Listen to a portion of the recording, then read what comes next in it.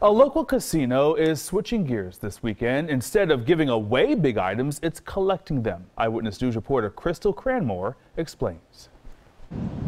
People usually go to SugarHouse Casino hoping to win big. But for a few hours Saturday, Hi, how you doing today, sir? folks handed off some big ticket items now considered junk. From old TVs They've just been sitting upstairs collecting dust, and I figured it was just time to let it go. to printers and computers. Today we're uh, collecting household electronics, printers, TVs, uh, cords, stuff like that that are typically harder to get rid of. 1 800 Got Junk We're the world's largest and fastest junk removal company. partnered with SugarHouse Casino to hold the e collection event. We want people to know that we're more than just a casino.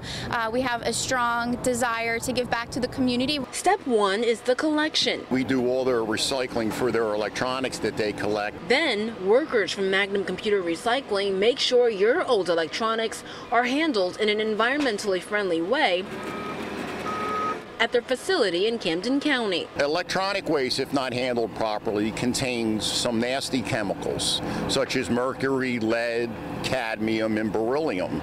Those should not leach into the environment. A lot of them can cause major health problems. And every piece of junk, reused or recycled, helps cut down on the amount of waste tossed out. Just didn't know where to throw them out, you know, so I'm just glad they did this event. If you weren't able to come down to SugarHouse Casino, just head to CBSPhilly.com to find out how you can recycle your unwanted electronics. We're at SugarHouse Casino. Crystal Cranmore, CBS 3 Eyewitness News.